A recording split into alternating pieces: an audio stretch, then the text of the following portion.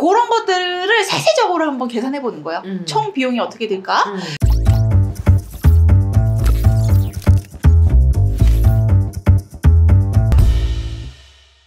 안녕하세요. 자, 오늘은 창업 2개월 전에 우리가 뭘 해야 되는지 네. 한번 이야기를 해보도록 할게요. 네. 자, 우리 창업 2개월 전 뭐 할까요? 창업 2개월 전에는요, 일단 선생님들께서 열심히 목표 설정을 구체적으로 한번 음, 해보셔야 음, 된단 음. 말이죠. 맞아. 어, 목표 설정을 어떻게, 어디까지, 음. 어떻게 해야 될까요? 음. 목표 설정이라고 하면 되게 거창한데 맞아요. 이게 좀 구체적인 게 그냥 내가 실천할 수 있는 목표 음. 이런 것들을 설정을 하시면 좋을 것 같아요.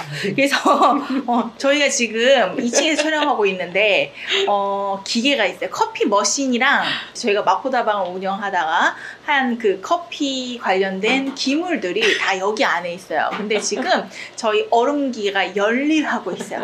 그래서 지난 영상 3개월 때부터 열 심히 일을 하기 시작하더니 얼음을 뿜어내고 있어요. 얼음을 도각도각도각. 그래서 여러분들이 이해해 주시길 바랍니다. 네. 아, 우리가 엄청, 엄청 이제 촬영 공간을 한번 고민을 해봐야겠어요. 되는 대로 찍었더니. 음.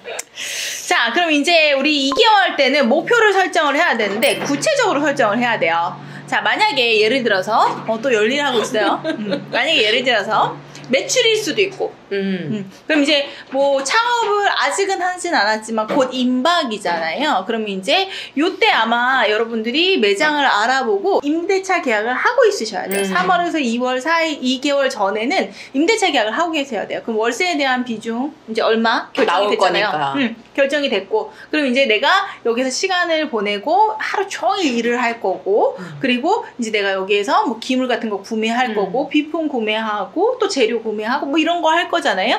그럼 이제 그런 총 비용들을 계산을 하면서 내가 이 비용을 충당을 하려고 하면 적어도 월 매출이 얼마. 정도는 돼야겠다는 고민을 하시는 게 음. 좋아요. 근데 그렇다고 막 세세하게 계산을 하다 보면 절망하실 거예요. 음. 그러니까 이제 대략적으로 내가 얼마 정도는 벌어야겠다. 근데 이제 우리 이 3개월 정도, 4개월 정도는 여유 자금을 가지고 시작을 하라고 말씀드렸잖아요. 근데 이때는 여유 자금을 가지고 계획을 짜기는 해요. 근데 이제 손익분기점이라든지 손익분기점이라고 얘기하는 게 내가 투자한 돈을 회수하는 시점이 한 음. 6개월에서 1년 정도는 돼야지 퉁 쳐지는 거거든요. 근데 이제 그런 거 계산하지 않고 보통 내가 천만, 이천만 원 투자했는데 100만 원 벌었어. 그럼 나 100만 원 벌었네가 아니라 마이너스 1900인 거거든요. 그렇잖아. 근데 거기에 또 재료비 이런 건 안 꼈단 네. 말이에요. 어, 그러니까 실제로 돈이 벌린 게 아닌데도 불구하고 난 돈을 벌었다고 생각을 할 수가 있거든요. 그래서 이제 목표를 예를 들어서 3개월 동안 뭐 월 매출 뭐 500만 원을 찍을 거야. 어허. 뭐 이런 식으로. 음. 그러니까 목표를 세울 때는 너무 허황되게 세우면요. 음. 아, 나는 거기에 못 들어가는 거야. 음. 어, 그리고 괜히 좌절하게. 맞아, 되고 맞아, 맞아. 못했을 때. 어, 그러니까 너무 큰 목표치를 세우면 이거는 내가 범접할 수 없기 때문에 음. 포기를 더 쉽게 해요. 근데 이제 목표가 가능할 것 같은 지수, 음. 가능할 것 같은 그런 것들 음. 이런 거를 잡으면 할 수 있거든요. 그래서 목표는 처음부터 너무 거창한 거 말고 음. 할수 있을 것만 같은 거. 그래서 이게 매출일 수도 있고 음. 그리고 이제 뭐 인스타 같은 경우에 내가 한다. 음. 처음 시작했어. 그럼 팔로우 수 몇 명. 그렇죠. 뭐 이런 식으로. 음. 음, 블로그에 하루 방문자 수 몇 명. 음. 뭐 이런 거. 그리고 블로그 같은 경우 보면은 거기 하루 사람들이 얼마큼 읽는, 읽었는지 그쵸. 체크할 수 있거든요. 음. 뭐 그런 거. 내 이제- 글을 몇 명이 읽었는가. 음, 음. 그래서 뭐 나는 이제 한 달 동안 뭐 몇 명을 읽게 할 거야. 방문자 수 몇 명 할 거야. 이런 것들을 한번 고민을 해 보시면 좋을 것 같아요. 음. 그래서 이런 목표를 구체적으로 세우라는 거죠. 그 구체적이라고 하는 거니까 약간 수치를 딱 네, 해서 네, 네. 해야지 네. 내가 도달한 점을 음. 이게 딱 정할 수가 맞아요, 있는 거잖아요. 맞아요. 근데 그 수치라고 하는 거를 너무 높게 잡으시면 좌절할 수 있으니까 음. 어느 정도 잡고 그걸 달성하면 그 음. 위로 올리고 올리고 음. 요 단계 요렇게 그래서 순차적으로. 어, 순차적으로 이렇게 음. 그냥 우리가 계단을 두 칸씩 한 번에 두 칸씩 세 칸씩 올라가면 힘드니까 음. 한칸 한 칸 한 칸. 음. 그래서 목표가 좀 더 세분화 시켜서 음. 성공, 음. 성공, 성공. 마치 게임 깨듯이. 음, 음, 음. 어, 저 게임 되게 못하는데 음. 어쨌든 옛날에 퀘스트 깨듯이 어. 이렇게 표현하죠. 그래요. 어, 어, 네. 그렇대요. 음, 음. 그래서 그게 하듯이 이렇게 어. 하시면 됩니다. 네, 네, 네. 그래서 그렇게 하면은 아, 어느 순간 내가 뭔가의 성공의 경험이 또 막 쌓이잖아요. 그렇죠. 그럼 그러니까 성- 성취감이 그럼요. 그럼요. 그리고 자존감이 높아져요. 음. 어, 그래서 그 초반에는 좀 자존감을 지키는 것도 나쁘지 않으니 음. 왜냐면 손님도 없고 막 이러면 막 좌절하 거든요. 음. 아, 내가 못나서 그런가 막 음. 이런 생각까지 별의별 생각까지 다 하니까 이때 나한테 성공의 경험을 자꾸 쌓아주는 그런 시기. 음. 어, 를 하려면 여러분들이 목표를 구체적으로 세워주시는 게 좋습니다. 네. 음. 자, 그럼 목표 설정을 하셨어요. 음. 그럼 그 다음에 선생님들이 하셔야 되는 거는 어, 이제 마케팅 계획을 좀 세우셨으면 음. 좋겠어요. 저희는 마케팅 맵이라고 하죠. 그러니까 음. 우리가 보통 창업 계획을 써, 해요. 근데 창업 계획서를 쓰고 시작하시는 분은 거의 없잖아요. 음. 그러니까 근데 이제 기- 이 계획서 안에는 내가 뭘 할 거고요, 어떻게 할 거고요의 내용은 나오는데 우리 가게를, 우리 매장을, 우리 쇼핑몰을 어떻게 홍보할 거예요에 대한 내용은 전혀 없으세요. 음.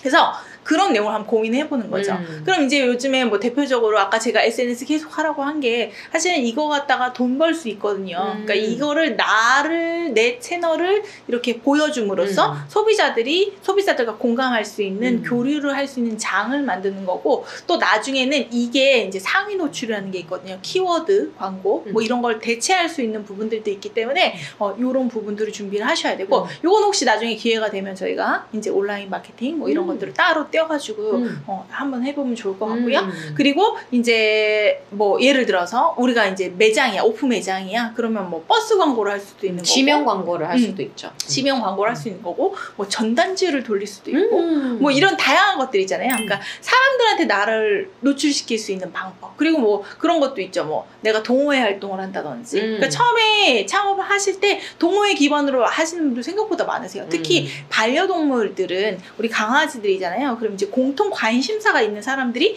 모여 있는 데다가 홍보를 하는 게 가장 효과적이거든요. 음. 그래서 뭐 동호회 활동을 한다든지 그렇다고 거기에서 막 영업하라는 거 아니고 활동 그러면 그러면 어. 거부감 드니까. 그러니까 음. 활동을 하시다 보면 아 이 사람한테 매력을 느껴서 이 사람이 하고 있는 쇼핑몰이나 뭐 매장이나 이런 거에 또 관심을 많이 갖게 음. 되거든요. 그래서 그런 거라고 보시면 돼요. 음. 어 그래서 이제 나는 어떻게 내가 여기 있음을 사람들한테 알릴 것인가를 음.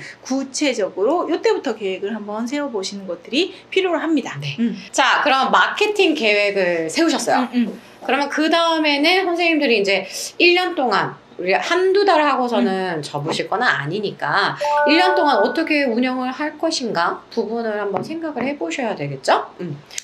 자, 1년 운영 계획은요, 저번 영상에 말씀드렸던 자금 계획도 포함이 음. 되는 거고, 1년 동안 내가 돈을 어떻게 쓸 건가 포함이 되어야 되는 거고, 그리고 이제 마케팅 계획을 할 때 1년으로 좀 구체적으로 계획 세보시는 게 좋아요. 음. 그러면 이제 뭐 예를 들어서 창업 후에 3, 4개월 때까지는 음. 내가 뭐 인스타나 블로그를 할 때 어떤 주제를 가지고 할 건지, 그 음. 사람들한테 정보성 글을 계속 주고 있다가 음. 이제 어느 정도 정착이 됐어. 3, 4개월쯤 됐어. 그러면 이제 그때부터는 사세요도 한 번 해야 되잖아요. 음. 어, 사세요, 사세요도 한 번 했다가, 음. 어, 그런 이제, 어, 이렇게 노출에 대한 계획도 세워야 되고, 그 다음에 제품에 대한 계획도 세울 필요가 있어요. 음. 만약에 내가 물건을 판매한다라고 했을 때는 우리가 보통 한 시즌 전에 준비하거든요. 음. 그래서 우리가 파리피플이라고 해가지고 음. 판매하는 사람들, 특히 의류 같은 경우에는 우리는 사계절 있잖아요. 음. 우리나라는. 그럼 이제 겨울옷을 언제 준비할까요? 겨울옷, 겨울옷, 여름에? 어, 여름에 준비하면 좋겠죠. 음. 왜냐하면 여름에 디자인이 나와야 돼. 우리 포비가 지금 이거, 이거는, 아이고, 귀찮아. 어, 이거 아까도 했다고. 자, 우리 포비가 지금 입은 옷이 저희 패션 선생님이 디자인한 옷이에요. 음. 원단도 너무 좋고 너무 좋은 것 같아. 근데 원래는 제가 이거를 올 겨울에 판매하고 싶었었어요. 음. 그래서 얘랑 나랑 세트. 그럼 얘가 이런 원단으로 옷을 입고 있으면 나도 이런 조끼를 같이 입고 있는 음. 거지. 어, 내년에는 한번 기획해볼까 하는데 음. 사실 저희가 이거를 올해 하고 싶었는데 안타깝게도 올해 여름에는 너무 바빴어요. 왜냐면 커리큘럼 짠이라고. 그러니까 제품 에 대한 기획을 할 여력이 안 됐었던 거죠. 그래서 지금 이거를 만들 수 있음에도 불구하고 지금은 이미 지났어요. 음. 왜냐하면 여, 겨울이 이제 거의 끝나가잖아요. 음. 물론 아직까지는 춥지만 음. 그래서 지금은 봄 상품을 준비해야 할 때인 거지. 어, 그래서 지금 저희는 뭘 하고 싶으냐면 피크닉 관련돼서 이제 제품을 한번 기획을 해볼까 이렇게 고민을 하고 있거든요. 음. 그러면 이제 정말 피크닉이 나갈 때 필요한 제품들을 우리가 짠짠짠짠 그 전에 딱 준비를 해놓는 거죠. 근데 이런 거를 찾아보기 사실 되게 힘들어요. 음. 그러니까 내가 직접 어떤 제품이 사람들이 뭘 필요하지를 어, 알아내기가 사실은 되게 힘들기 때문에 내가 따라하고 싶은 업체의 쇼핑몰이나 아니면 인스타 같은 데를 들어가 보는 거죠. 그럼 거기에 보면 1년 동안 그들이 이제 뭐 예를 들어서 이벤트를 했던 거, 음. 행사를 했던 거, 막 광고를 했던 내용들이 남아 있을 거예요. 그래서 뭐 예를 들어서 봄맞이 1 플러스 1 음. 이벤트를 언제부터 했는지 거기 보면 날짜 써 있잖아요. 음. 이 게시물에 그쵸, 언제 올라가 그쵸. 있는지 그리고 이제 사람들의 댓글도 보는 거지. 아 반응이 어떤지. 음. 그럼 이제 나는 그거를 미리 다 정리를 해놨다가 그래서 그 내용들을 내 매장에. 업무에다가 매장에 다가 집어넣어야 되죠. 제가 옛날에 엄니보따리란 농산물 쇼핑몰을 했었거든요. 지금 열심히 안 하고 있어요. 지금은 그냥 멈춰놨는데 나중에 노후를 위해서 언젠가는 쓸 것 같아서 냅뒀어. 왜냐면 어, 요즘이 딱 진짜 먹거리 팔기 진짜 좋은 시대예요. 왜냐면 음. 코로나잖아요. 다 시켜 먹고. 어, 다 시켜 먹고, 조용과에 대한 니즈가 정말 고취되어 있는 상태인데, 가가지고 막 live commerce 하고 하면 나 진짜 잘할 것 같은데, 어우, 저 소리 또 나. 그래가지고 하는데, 이제 지금은 사실은 좀 여력이 안 돼서 멈춰놓고 있는데, 그때 제가 뭐 했냐면, 1월부터 12월까지 그때 생산되는 농산물을 쫙 정리했어요. 음. 어. 그러면 이제 1월 달에 뭐 나고 2월 달에 뭐 나고 3월 달에 뭐 나고 이거 다 나온 거예요. 그래가지고 그거를 미리 정리를 해서 제가 다 농사를 안 짓잖아요. 그러니까 이제 그 사람들을 섭외하기 시작했어요. 음. 그래서 아 저 여기서 무슨 쇼핑몰 하는데 물건을 받을 수 있을까요? 이렇게 해가지고 팔기 시작한 거죠. 음. 그래서 첫, 첫 해에는 별거 못 팔았어요. 근데 둘째 해는요. 별거 별거 다 팔았어요. 음. 어, 매실도 팔고 된장도 팔고 매주도 팔고 아? 김치도 팔고 그렇게 절임 배추도 팔고 절임 고춧가루. 많이 들어봤는데. 아 절임 배추 제일 많이 팔았거든. 고구마도 팔고 젓갈도 팔고 음. 그다음에 뭐 팔았지? 아무튼 그 청국장 응, 청국장도 팔고 별거 별거 다 팔았거든요. 근데 그게 가능했던 게 계절을 제가 미리 서칭을 해서 음. 이 계절에 어떤 음식이 나오나 어, 이런 것도 좀 많이 봤던 것 음. 같아요. 그래서 그런 거 계획. 어, 그럼 우리 강아지들이 계절별로 뭐가 필요한지. 그러면 이제 강아지 엄마들이 계절별로 뭘 구매하는지, 언제부터 그런 제품을 준비하는지, 이런 계획들을 세워보는 거죠. 그리고 나름의 소기의 목표를 우리가 계획을 했으면 1년 동안의 성장의 목표 계획도 세우는 게 좋겠죠. 음. 그래서 이제 뭐 매출 500만 원이라고 했는데 그럼 이제 1년 뒤에 나는 매출 얼마까지 끌어갈 거야? 뭐 6개월 뒤에는 얼마가 됐으면 좋겠고 그 다음에는 1년 뒤에는 얼마가 됐으면 좋겠고 그리고 1년이 지났으니까 내가 어느 정도 자리를 잡고 그 다음에 이 업무량이 많아지니까 그때는 한번 직원을 써볼까? 뭐 이런 계획들 음.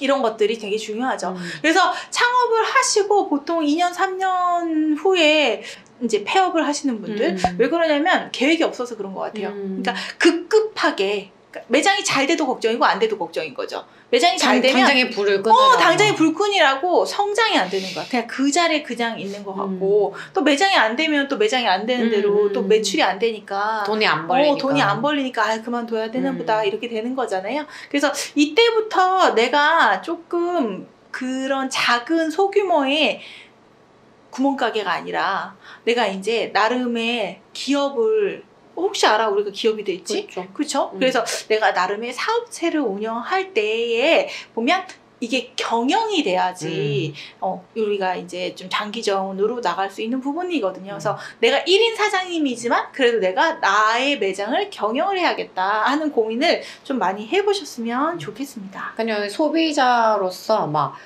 지금 이제 저희가 촬영을 지금 1월에 해가지고 음. 곧 구정이거든요. 네네. 그 구정되면 막 구정 맞이 막 맞아, 세일 막 이런 걸 한단 말이에요. 음, 음. 그러면은 소비자라서 소비만 할 줄 알았지. 그쵸. 이거를 내가 파는 사람의 입장, 사장님의 입장에서 음. 언제부터 계획을 해야 되는 거야? 이거는 훨씬 전에 해야지 그쵸, 그쵸. 이때 지금 그렇게 할수 세일 맞아요, 해가지고 맞아요. 준비를 해서 기획하고 준비하고 이렇게 할 수 있는 거잖아요. 그래서 맞아요.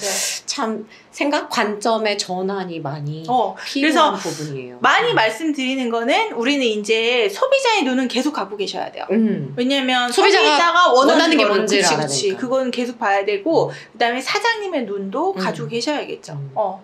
되게 중요한 것 같아요. 양 양면을 다 갖고 계셔야 돼요. 음, 음, 음. 자, 이렇게 해가지고 창업 2개월 전, 음. 이제 얼마 안 남았어요. 진짜로 얼마 안 남았어요. 어, 뭘 해야 하는지에 대해서 첫 번째로는 목표 설정, 네. 구체적으로 뭘 할 것인지, 어떻게 음. 달성을 할 건지 수치화 해가지고서는 말- 이렇게 정하시고요. 두 번째는 마케팅. 음. 계획을 세우시고 세 번째는 이제 1년 동안 운영 계획을 장기적으로 어떻게 할 것인지를 좀 써보시는 것으로 저희가 정리를 한번 해보도록 하겠습니다.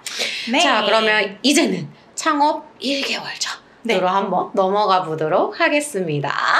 다음에 뵐게요. 네.